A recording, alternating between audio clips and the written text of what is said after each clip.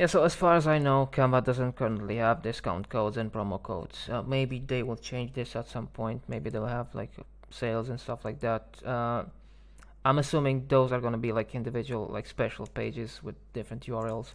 Uh, but if you go to canva.com slash pricing, you'll land on this page uh, where you have a few options. But the point is, if you want a discount uh, for Canva Pro, just go with the yearly plan because they give you 16% discount basically.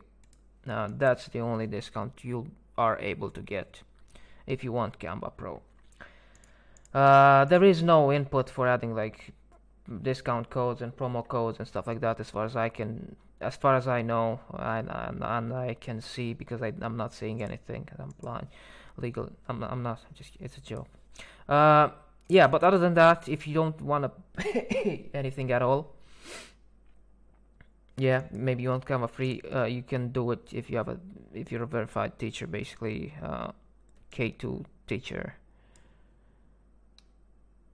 Uh I mean they say it's free for K12 students but I don't think that's right. I think they removed that program at some point enter type of institution. Student.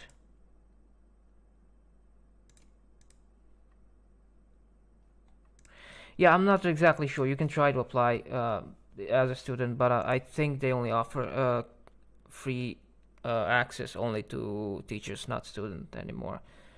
Uh, yeah I mean, you just you can try get in touch with them, ask them. I don't know because as far as I know, they used to do it for students too, but at some point they stopped. So, but I may I, I might be wrong. So, I'm I'm I'm wrong a lot of times. So I don't know.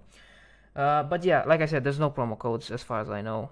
Uh, just the 16% discount uh, if you choose to get charged uh, like uh, one time uh, per year. Um, so you have like the 30 days trial, then you get charged for a year, and then you can use it for a year, and then you get charged like 13 months from the time you started, basically, with the 30 days trial. And uh, yeah,